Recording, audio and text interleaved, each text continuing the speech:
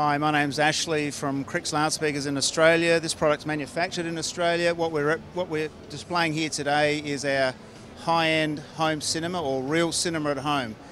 This is based on commercial cinema product. It'll reach Dolby reference level in a 14 to 15 metre deep uh, home cinema.